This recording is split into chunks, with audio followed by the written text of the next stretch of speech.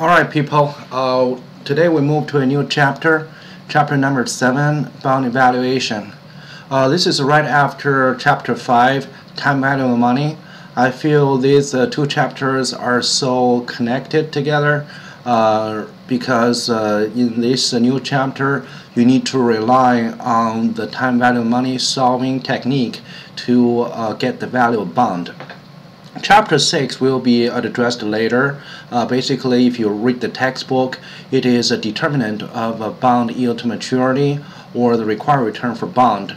And uh, I prefer to leave that part in uh, with the chapter 8 uh, when I address the financial markets, all kind of financial securities, especially their risk and return characteristics. Okay, so if it's related about the return and the risk level, I prefer to put it in chapter 8, which is uh, after your midterm exam.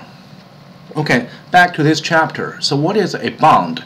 Bond is a financial security issued by the firm um, or a government uh, entity or uh, individual. Okay, it is a legally binding agreement between a borrower and a lender. If you issue a bond, you sell a bond, uh, and then you are a borrower. And whoever purchased the bond would be the lender.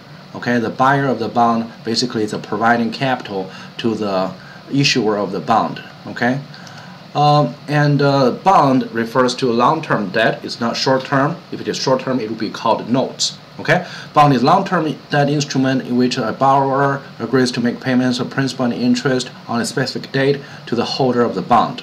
Okay, so it is uh, written in black and white in contract uh, how the bond should be paid off. Okay, and the bond could be issued by corporation, state, or government. And if it's a stock, it can only be issued by corporation only. Since uh, the issuer of the bond could be many, uh, the bond market is definitely greater than the stock market.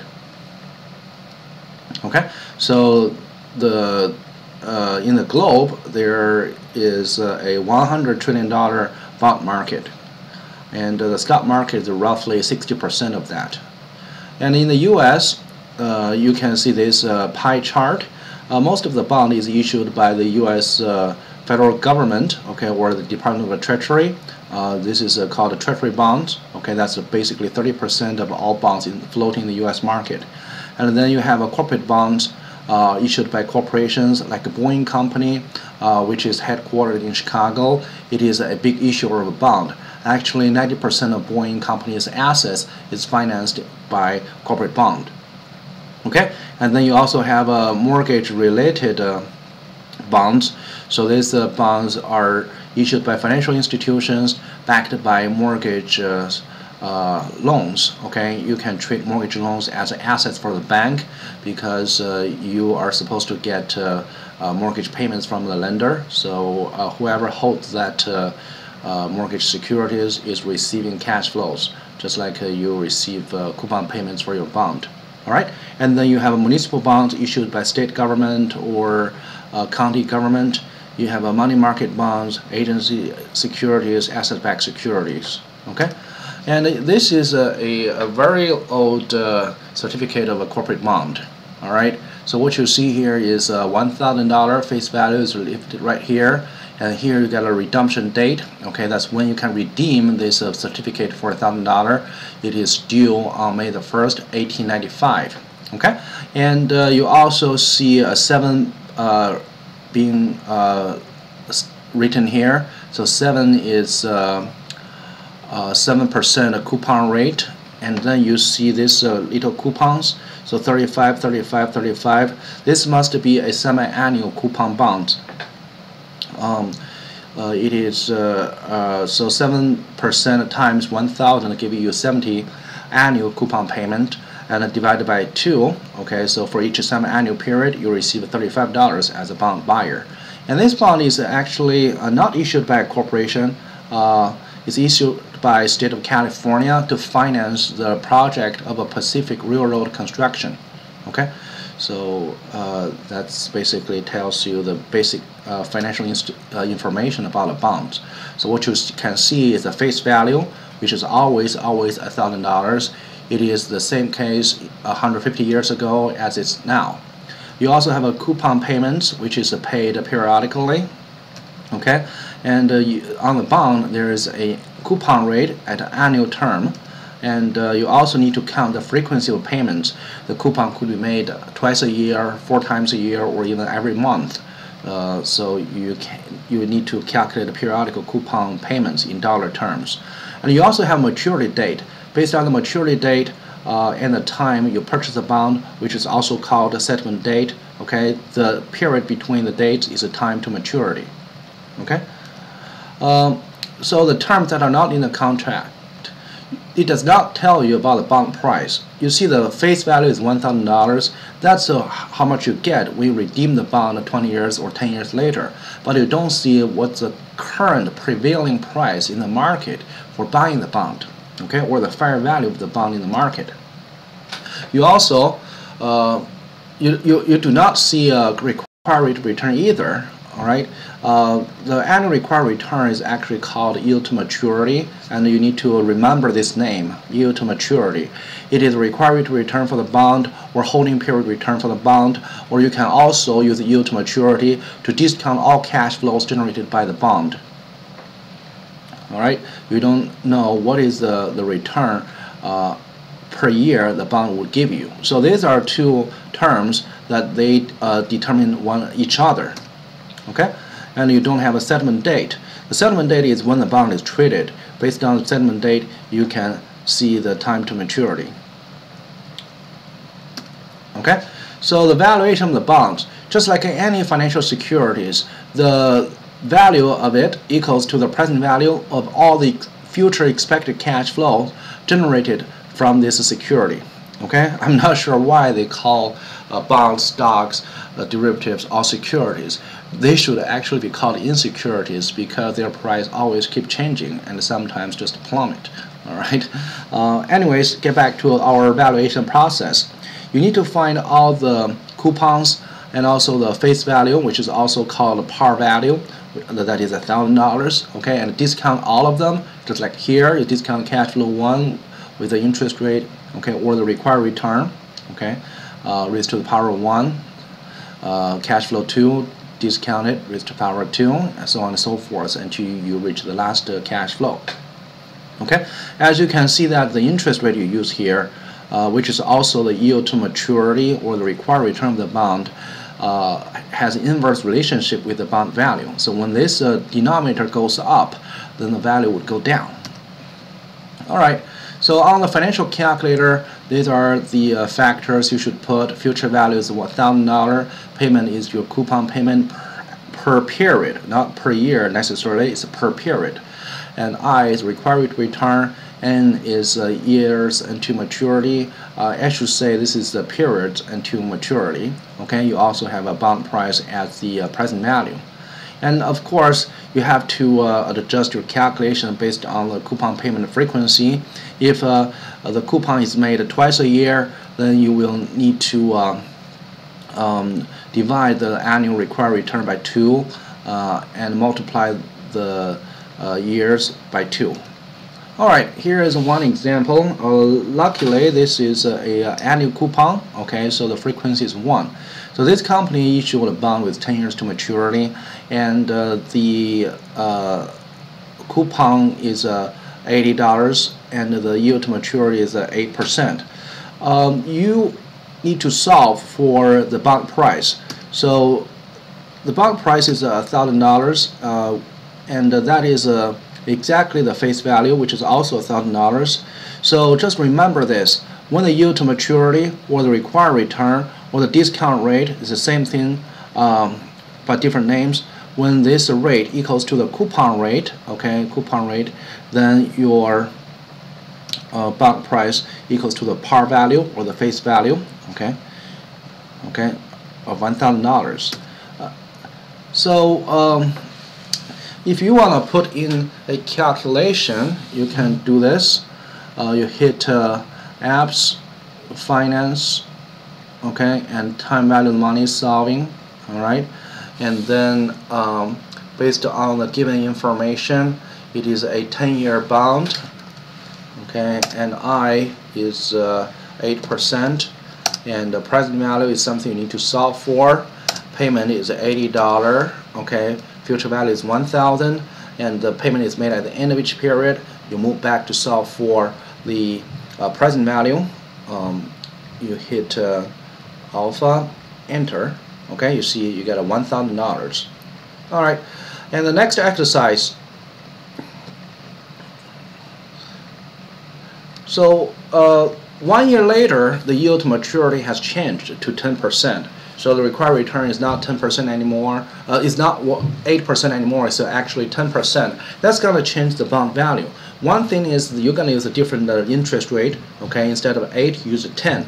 And another thing is uh, the yield to maturity. The time to maturity has also shrinked from 10 years to 9 years as one year has just passed. Okay, so what's the new value? Um, you change i from 8 to 10. Okay and then you change uh, n from 10 to 9 and then the payment and the future value stay the same you would have a, new uh, present value that equals to a negative uh, 884 I'm not going to show you the uh, calculator on my screen so you but I do require you to verify this number at home. So what happens is uh, the bond price was a thousand dollar a year ago but now it is 884 so what is the price change? Here is one important formula that I require you guys to remember it, okay? Um, and this is a very basic financial formula to get a return or the price change or the percentage change of any security prices. Okay, so it equals to the new price minus the old price divided by the old price, or the later price minus the earlier price divided by the earlier price. In this particular case, that's uh, uh, the the, that's the price one year after the insurance uh, minus the price at the insurance divided by the price at the insurance, new minus old divided by the old. So you would get a negative 15.18%. Uh, I ask you to verify this number, uh, spend some moment and uh, uh, verify that number, and this is a, a, required skill for the class. Okay, so what you see here is uh, when the year goes down and the especially when the yield to maturity goes up, when interest rate goes up from 8 to 10, bond price drops. So you have a, a negative 15% decline of bond price. All right, the next question is to solve for the interest rate. In this whole chapter for bond, the interest rate is yield to maturity. Okay, that's yield to maturity. As I said, you're going to use this rate to uh, discount all the cash flows and count it as the holding period return um, and also use it as a required return. Okay, for the required return, I think it's a little bit too early to explain it. I prefer to leave it until chapter 8 after your first midterm exam, actually the only midterm exam um, to uh, address the required return. Alright, just for now, just remember that's the interest rate, that's the discount rate or compounding rate. Okay, um, so you are solving for interest rate. And uh, the tricky part is uh, the coupon is made semi-annually, so you have to do a lot of adjustment. All right.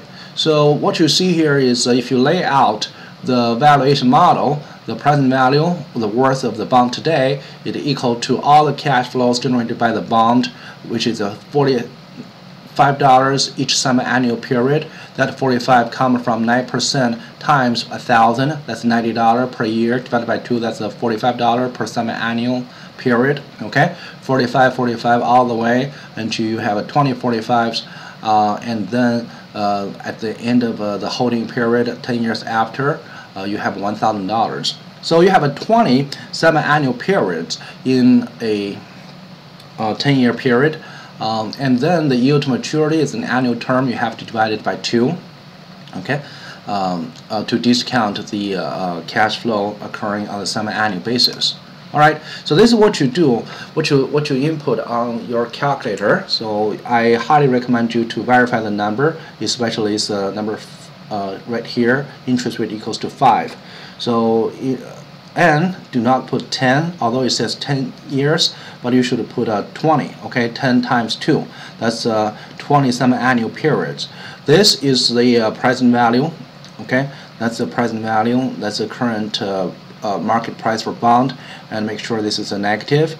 Uh, if you pay this bond price, then you will receive the payments uh, and the future value as a positive uh, cash flows. Okay, so negative first, positive later. Your calculator has to go like this, okay, to make a balanced financial relationship. So make sure you put a negative sign here. And the payment is $45 every semi-annual period, and the face value or the future value is 1,000. And then you uh, hit uh, alpha solve, you would get a 5 as the interest rate. And be careful, this 5 is uh, not the entire yield to maturity. Instead, it is a yield to maturity divided by 2. Okay, so the discount rate you applied here is actually uh, a half of yield to maturity, which is equal to 5. So what is your annual yield maturity? Clearly it is a 10. Okay, it is a 10. Alright, uh, if this is a, a, a, numerical solving question in your test, if you, your answer of yield maturity is 5, well, that's uh, okay. You'll probably get a, let's say 90% of the total uh, points. But uh, if this is a multiple choice question and your answer is a 5 uh, for yield maturity instead of a 10, you lose all your points. Okay, just uh, one reminder here. All right, next is the coupon bonds. Uh, now assume the yield to maturity is 11%, which is the fair price of the bond. So you have a coupon is right here, face value is right there okay uh, and this is a semi-annual bond so uh, the time period is uh, from uh, um, January 2014 to December 2018 how many years in between some people say it's four years because you use 18 minus 14 that's uh, four uh, but actually you have a one more year so you have a five years in total because from January of 14 to January of 15, uh, sorry, to December of 14. From January 14 to December of 14, you have a one solid year, okay? And then from December 14 to December 2018, you have another four years. So the total number of years is four if you uh, pay attention to the month. All right, and uh, then um, since it's a semi-annual coupon payment, you should uh, put a 5.5 percent as an annual rate okay so that's what you get so uh, five years between these two dates uh, times 2 so that's a 10 and then 5.5 is from yield to maturity. And then uh, you solve for present value. And then uh, you put the um, coupon rate uh, coupon payments right there in dollar term. And you put a future value as $1,000 okay that's how you solve it. Alright so um, just uh, use your calculator to verify that number. So what I did here is uh, um, I have a five years in total. I use a five times two. All right. So that and that give me two, and then I have 11 uh, percent for yield to maturity, and that rate will divide by two to adjust for the frequency. Okay. And then I solve for a present value. The payment is 31.875. Okay, for the coupon. I move back and then alpha solve alright so that's how you get the number okay make sure you verify that number when you get home. Alright actually you are already home I'm sorry just to verify this number. Okay the next one um, is uh, the inverse relationship between oh oops the between the bond value and the the discount rate or the interest rate or yield to maturity, however you want to call it. Let me just be consistent. I call it yield to maturity. So as yield to maturity increases, the discount rate gets higher for the same amount of cash flow, uh, then the present value will be lower.